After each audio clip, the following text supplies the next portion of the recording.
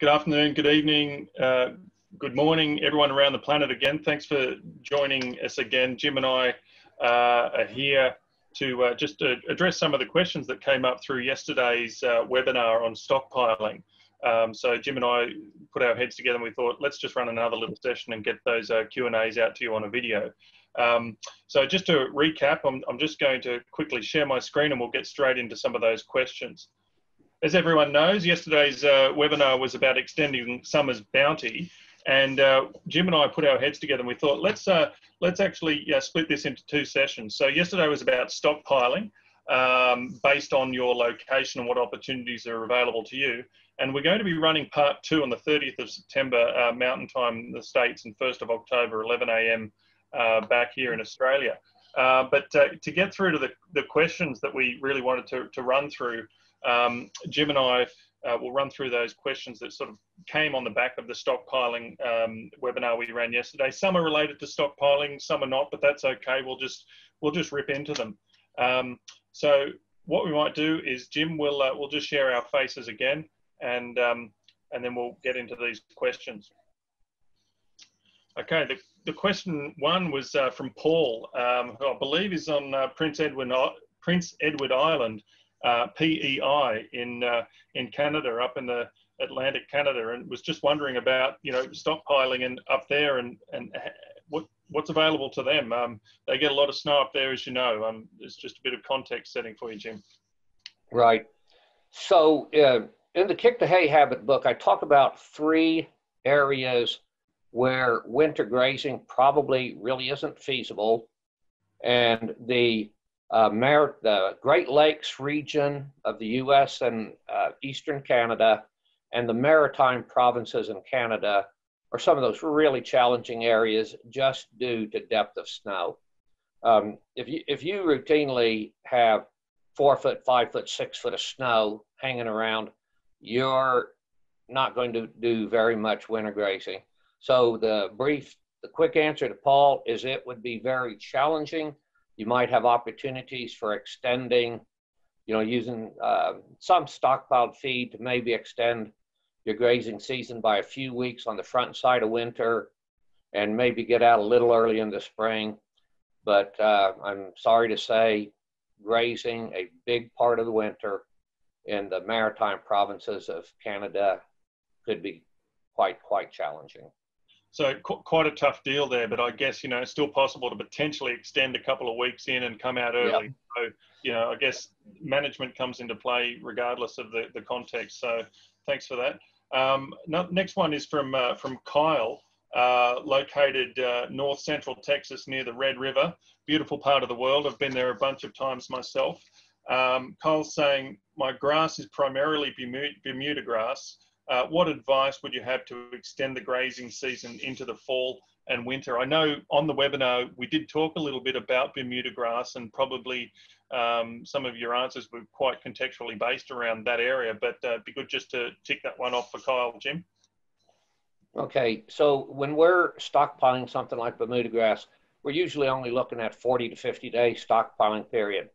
Now, uh, increasingly, especially in the regenerative ranching community, rather than relying on heavy doses of nitrogen fertilizer on Bermuda grass, which has kind of been the history in uh, Texas and most of the southern U.S., more and more are introducing uh, the heat tolerant white clover varieties uh, to supply the nitrogen or growing uh, hairy vetch, crimson clover, arrowleaf clover, different winter annual forages.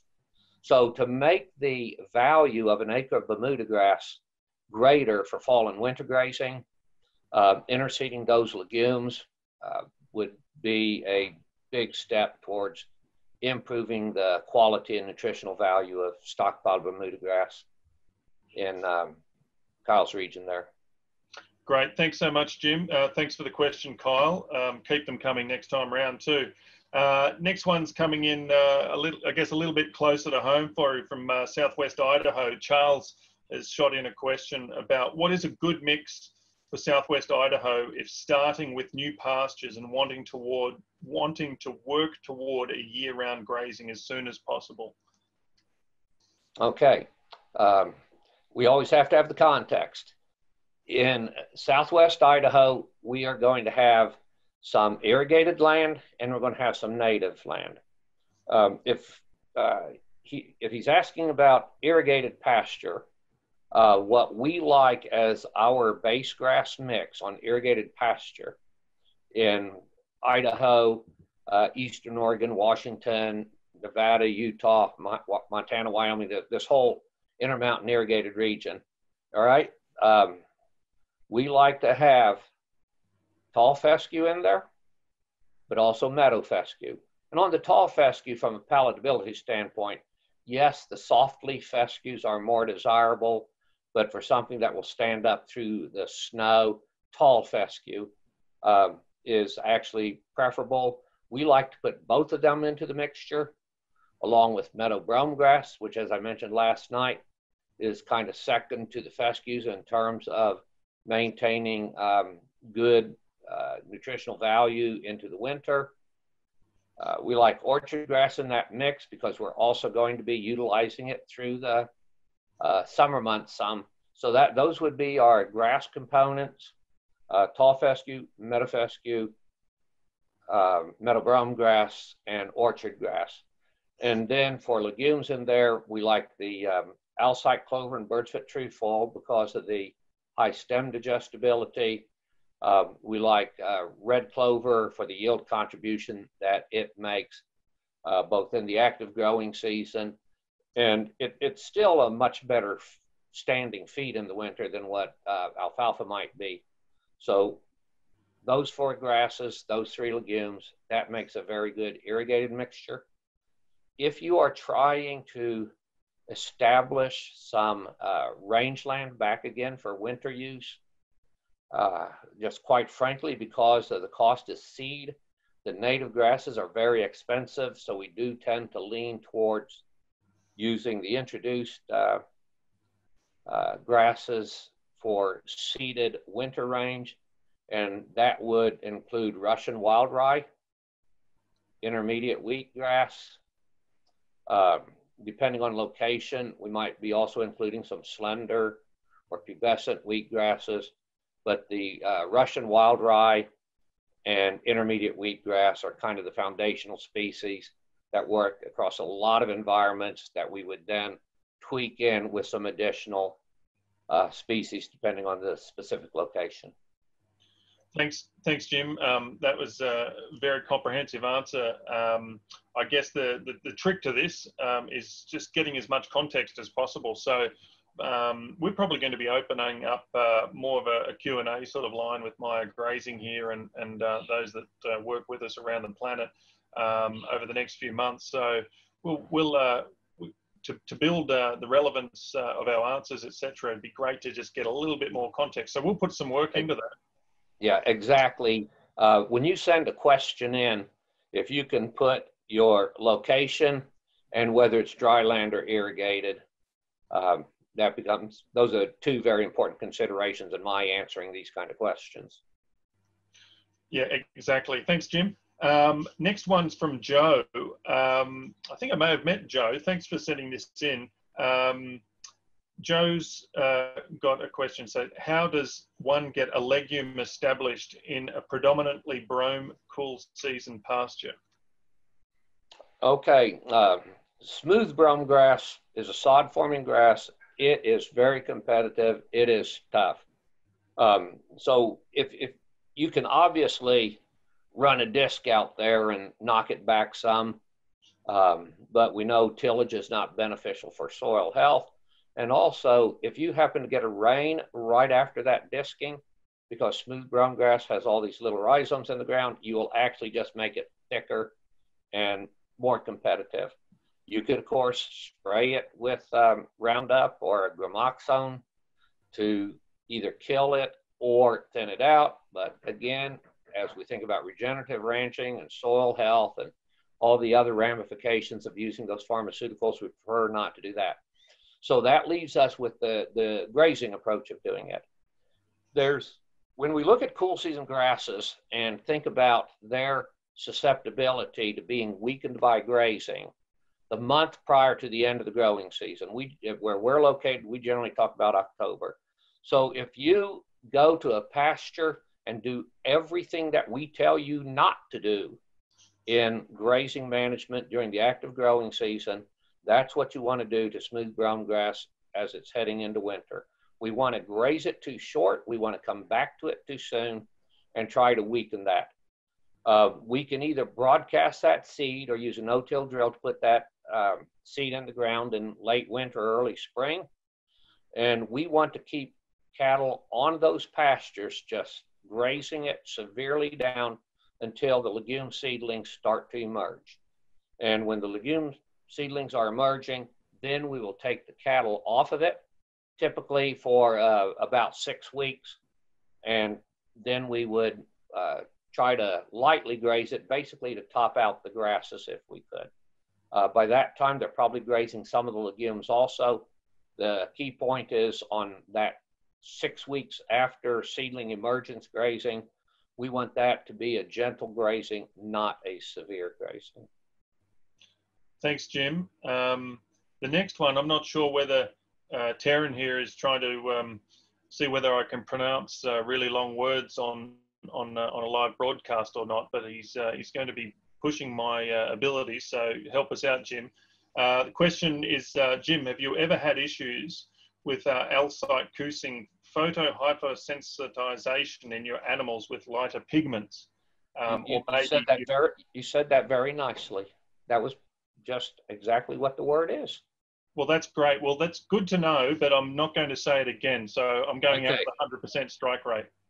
All right. So what photo hypersensitization is, um, there are sometimes present in Alsike clover and some other forages and it's debatable whether that um, chemical presence is from the plant itself or from a microbial organism uh, growing on the leaf. Uh, but it causes the skin on the face of light pigmented animals to, to blister and they actually to the point where it can start sloughing off and it's a bloody mess and um, generally you just terminate that animal when it gets that bad. Okay, um, I have very, very rarely uh, ever seen cases of photosensitization. It has generally happened on white-faced sheep um, when I've experienced it, but also on Hereford cattle.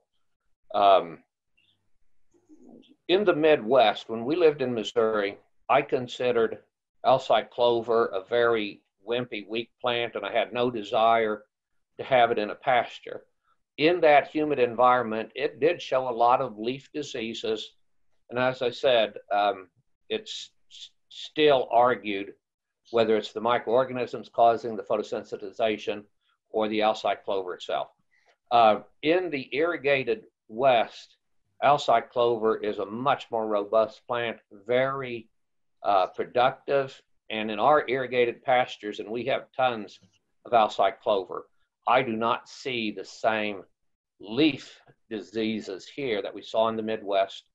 And in the 16 years I've been out here, uh, I've not seen an actual case of photosensitization here. Um, our cowgirl on the ranch, she is concerned with her horses, some of which, which have white blazed faces, with uh, the Alsike clover in the horse pastures whether she's concerned because she has read about it or whether she has actually ever seen it um, is again another question. It's one of those okay. things you hear a lot about but uh, rarely see. Okay, thanks, Jim, and thanks for the, the question, Taryn. Uh, good to see uh, some questions coming in from the USDA as well. That's great. Um, next one's from uh, Garrett. Um, uh, in Central Texas. Jim, I have some pasture with Tifton 85 in Central Texas. What would be a good legume mix to use in our environment? Our soil type is predominantly clay, sandy clay loam. Okay, this is where the heat tolerant white clovers do well. And specific varieties that we generally, you know, would be recommending and using are Durana and Patriot. And in that uh, part of Texas, on those kind of soils, for winter annual legumes, and um, remember we're talking about this Bermuda grass in the context of winter grazing.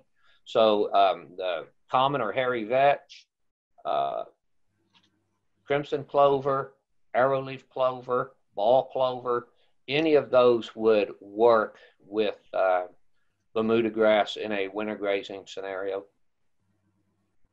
Fantastic. Thanks, Jim. And thanks, Garrett, for sending that one through. Uh, next one's from Alison. Um, Jim, how do we best tell if protein is needed by reading the cow as opposed to uh, forage testing?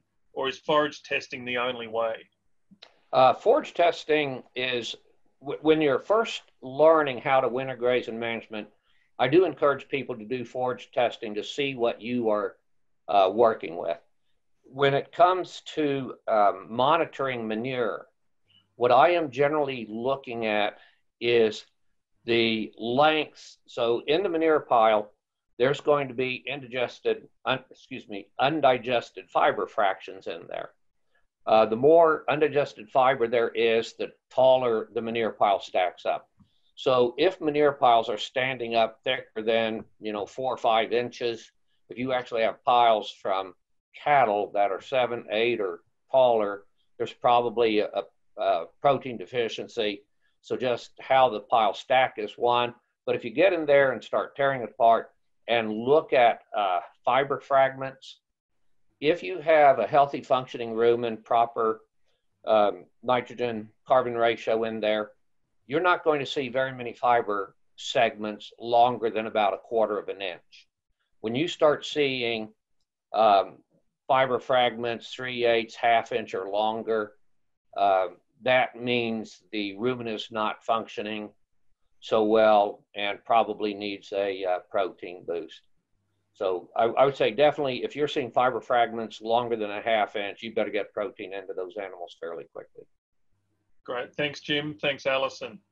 Um, John uh, sent a question in. I'm not exactly sure where he is, but um, uh, again, probably good to get a little bit more context, but that's all right. Um, how many days of rest do you suggest for tall warm seasons in 35 to 40 inch rainfall. I guess this could be, you know, the, the, context of location, but also the, you know, dividing things. Are we looking at sort of native warm seasons or introduced subtropicals?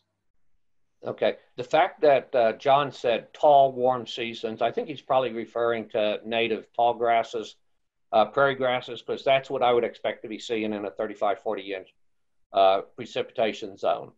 Mm-hmm. Um, in, in the um, webinar last night, I said when we're talking about Bermuda grass, 40 to 50 days would be our max.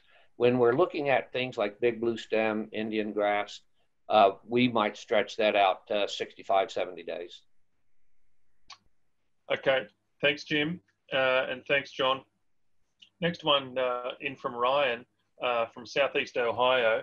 Um, uh, I'll, I'll, just read this out as, as best I can. I'm located in southeast Ohio. Is it possible to start the grazing season with the properly with a properly stocked ranch for year-round grazing and manage the grass so that you keep the seed heads off with the livestock and therefore graze up the forage so that by winter you have stockpiled your entire ranch with good quality feed for dry cows in winter? Um, that's actually a fairly complicated question. Yeah, there's a lot in there. Um, yeah it is much easier to manage feed supply with what we would term a variable stocking rate. so the timing of and emphasize effective stocking rate. Stocking rate isn't only the absolute number of animals you have, it is what is their nutritional demand at a particular point in the season. So, um, for example, a lactating cow, depending on her milking ability, it's going to be her at peak lactation.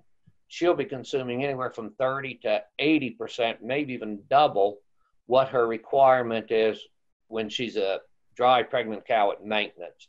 So, matching calving season so that that peak demand for forage consumption coincides with your peak forage supply is one of the key pieces of getting that uh, in balance it is much easier to manage the year-round forage supply if you have more than just a cow-calf enterprise. Um, spring gray stockers are a very good tool or spring grazed cull cows are a very good tool for um, managing forage supply. A lot of it depends on what species we're talking about, whether or not you use nitrogen fertilizer. If you're still using nitrogen fertilizer, you get a huge spike in growth in the spring that is very difficult to manage just with grazing. If you have eliminated nitrogen from your program and you're using grass legume mixtures, uh, that, yes, you have a spring peak in yield, but it doesn't come up as fast and it's not as high relative to the summer uh, slump period, and it's easier to manage. I really do encourage people to add a, uh, a short grazing enterprise with additional animals in the spring so that you can ramp up the pressure. The way we ran our farm in Missouri, we, um, on a year round basis, uh, figured that our resident cow calf herd would need to eat about 60% of the forage that we produced in the year. The additional 40% was consumed by additional animals that we brought in onto the farm in the spring, uh, usually for about a 90 to 100 day period. And using a system like that, it is much, much easier to manage forage supply and quality than it is trying to accomplish it entirely with just one class of livestock and mechanical harvest being out of the picture for you. So to, to answer his question for what he is asking, I think it's a very challenging situation. And so I encourage him to consider a add-on spring uh, grazing enterprise to manage excess forage supply. Yeah, great. Thanks, Jim. I mean, a, lo- a lot going on there, and I guess you know that only just exemplifies the uh, the complexity of what we're trying to achieve, regardless of the context. You know, this this whole grazing game, it's an art and science. Um, so uh, there's a lot going on. And thanks for sending in that question, Ryan. Um, make sure that you stick around to future webinars and keep them keep them coming in. Um, next one, uh, question from uh, JR or Junior. Um, apologies, I'm not sure which one you refer to yourself as, but uh, JR in East Texas. Uh, what's a good uh, winter forage to plant for sheep in East Texas, Jim? First, I'll say hi, Jr. How you doing? Good to hear from you again. Um, as, as, a winter annual forage in uh, Texas, East Texas, you know, any of the brassicas are good for sheep. Annual ryegrass, Italian ryegrass, um, th- those are good choices. They're high quality feed, very palatable to sheep, easy to establish. Fantastic. And, and I, I guess uh, we, we have it. It's JR. It's not Junior. So apologies, uh, yeah. JR. I, I've been on JR's farm. And uh, so, yeah, very definitely JR. Fantastic. Well, hopefully one day I might gain an invite too, and I'll be able to address you face to face as JR. So um, next one, we've uh, an easy one for me. We've got Mark here. Um, uh, the question from Mark is, do the principles of uh, autumn growth for winter grazing directly convert to spring growth for summer grazing? We have long, hot summers, Mediterranean climate in southern Australia. Thanks, Mark. I think I know who you are. Are you going to answer that one? No, no. You're. Uh, you're oh, I've, I've got to do that. Well, you're, you're, doing all the answers. Um. Uh, all right. Yep, that's right. Even for Australian questions. Absolutely. Okay. Um, do the principles of autumn growth for winter grazing directly convert to spring growth for summer grazing?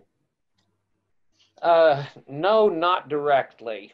And part of the reason for that is cool is the friend of forage quality, hot is the enemy of forage quality. So stockpiling spring growth to get you through a hot summer dry period uh, is not exactly the same as uh, what we're talking about accumulating fall gr- growth for winter grazing because the hot weather of the summer is going to cause the forage to lignify. And then also, if you have hot, dry winds blowing, that breaks leaves off of plants. It causes plant breakdown. Uh, actually, much more quickly than what the winter cold winds do. So it's it, it, it is not a direct conversion. And now um, I don't know if this would have any application at all in Southern Australia in your situation, but um, here in the States, there are some people who will actually use swath grazing for summer stockpiling. They will have that spring growth. Uh, they will put it into a swath to preserve the quality of that feed. Um, the biggest problem that comes with that is those hot, dry winds might blow your windrows away. So whether or not you can use uh, late spring swathing to store feed for the summer really depends on um, what your wind situation is, I would say. There's a lot of hot air down here, Jim, so uh, you just never know. It's all about context, isn't it? It is. Um, thanks a lot, Mark, for sending that through. Next one, uh, another one from uh, East Coast of Australia, and I'll let you answer this as well, Jim, because uh, I'm uh, I'm smart enough to not claim to be an expert in anything. So um, this one's from Normie. Um, I've gathered from reading Jim's book, Kicking the Hay Habit, and listening to the SGF grazing schools, the Stockman Grass Farmer grazing schools, that he's a big fan of sowing winter annuals to extend the growing season and support animal performance.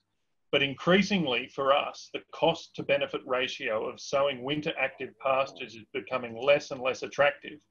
We're considering skipping the practice and just trying to stimulate the perennial pastures with fertilizers, granular and or other.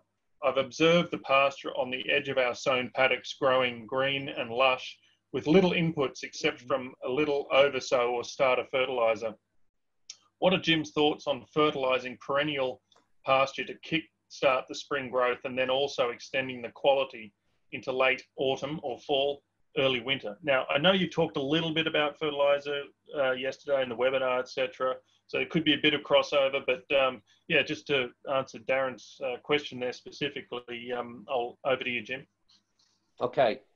Um, I want to uh, first say something about that use of uh, winter annual pasture you can spend a hundred bucks on seed, fertilizer, drilling, putting a winter annual pasture out there. With lax grazing management, you might only harvest 50 AUDs per acre out of there, making your cost $2 per AUD. With good, solid, controlled grazing management, that same field might produce 200 AUDs per acre, making your cost uh, only 50 cents per AUD. And so to, to me, yes, I am a fan of winter annual pastures, but I always emphasize that they need to be aggressively managed to capture that investment that you have made in them.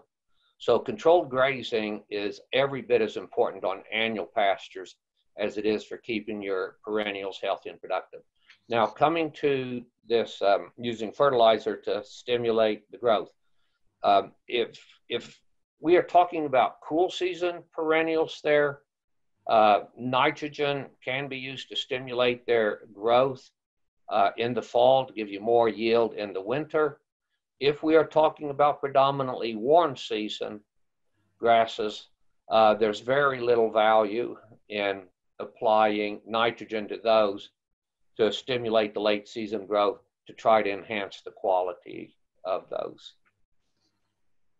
Great, thanks, Jim. And, and, that point about aggressively managing those winter annuals. I mean, just this week, uh, uh, just down the road from where I live here, in, um, not not far from southern Tablelands, New South Wales. Uh, I, I, saw on one side of the, the road some uh, fantastic aggressive management of the winter annuals and, and, and oats, uh, and then right across the across the road, uh, huge investment, very similar outlay, different property um, and uh, being managed entirely differently. And I'd say that, you know, the, the, the return on, on investment there would be uh, fourfold of the first one I mentioned. It was um, uh, quite incredible to see really in plain sight of each other. Um, thanks for the question, Darren. Uh, appreciate you uh, sending that one through. Um, next one, um, I think we may have addressed that yesterday. It's from Andy. Uh, someone who didn't really start that rotational grazing until June 2020. I think we addressed that one yesterday. We did. Yep. Yeah. Um, and there was also another one here, Kat, you were talking about irrigation within Maia grazing, and I gave you a quick overview of, uh, of how we manage that um, in Maia grazing. So looking forward to um, connecting with you directly on that one. Um, now, there is uh, another one here from Paul, and we'll probably, this will be the second last one. I think we've grouped together a couple of other questions uh, that we did have um, in the basic sort of themes that we've covered off here, Jim. So uh, another one from uh, Australia in the dry tropics um, from Paul. I'm intensively cell grazing a small herd of Brahman cattle in the dry tropics of Queensland, Australia. It is country with low fertility soil and predominantly black speargrass pasture. I normally have five months summer rain producing grass growth and then seven months dry with very little growth. My last three year running average yearly rainfall is 500 millimeters, um, or rolling rainfall. Uh, the last three years rolling rainfall, uh, summer rainfall is 350 millimeters. Would you please discuss the main principles that I should be applying to achieve the best practice grazing in this environment? Okay, I, I think in this environment, a couple of key things are um, ensuring through your grazing management, you're putting plant litter on the soil surface. Uh, that's going to uh, keep it cooler. It's going to seal, secure some of the water in there. Um, in the precipitation ranges that you're talking about, um, enhancing the water cycle so you make more effective use of that water is a very key component. Um, leaving adequate residual to ensure the opportunity for those plants to regrow when the wet season comes again is important. Uh, how do we accomplish this? Uh, short grazing periods, high impact, knock some of the plant material down um, to create that litter layer. We do a lot of that in the dormant season um, because the, the plants are easy, sometimes easier to break down at that point. But um, increasing the litter layer to get a more functional water cycle is very important, leaving the residual, and that's going to help build, you know, carbon in the soil. And uh, as, as we increase the carbon content of the soil, we increase the water holding capacity. As we increase litter, we're keeping the temperature cooler so we don't have as much evaporative loss. That leaves more water in the soil available to support actual plant growth and function. Uh, so I, I think those would be the key points there. Great, thanks, Jim, and um, thanks, thanks, Paul, for sending that one through. Um, last one. In our environment, um, it is advised to graze ryegrass at least, uh, sorry, at three leaf stage, and graze all leaves off to four centimeters. Metric, so a couple of inches. How would you do it, and what would you think of this? And how do you manage animals leaving clumps? So um, that's from William. Uh, not necessarily a stockpiling question, but that's okay. Yeah.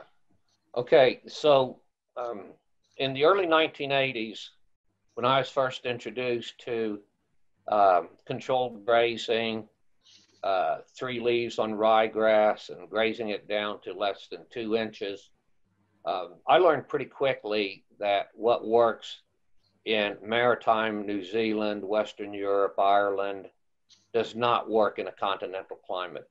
When we tried to manage pastures in those ways, um, maybe the first grazing cycle of the uh, of the spring in April or May, we had nice recovery, and oh, this works. Uh, second grazing cycle, not so much. And pastures we graze that way were basically shot for the season. So once again, context. Are we in a maritime climate? Are we in a continental climate? Are we in a Mediterranean climate? All of those things make a difference in how uh, the plants are going to respond. Because I am a fan of building litter on the soil surface and a fan of leaving residual to keep the soil cooler, um, I am not at all a fan of grazing everything at three leaf stage, you know, down to four centimeters. Um, there are maritime locations where that evidently works. Um, I do not live in a maritime location. We are all products of our own experience. Um, so I, I'm not going to guide anybody down that path. until I've lived in a maritime climate for 10 years and managed grass in that environment. Great. Thanks, Jim. Look, thanks so much for your time again today. I, I know that you need to uh, head off uh, on a bit of a drive and, and meet Galen up on a mountain pass somewhere and bask at the glory of uh, the mountains in Idaho. Um, so thanks so much for your time. Thanks on behalf of uh, everyone um, who attended the webinar and, and, and, really appreciate everyone who sent in those questions.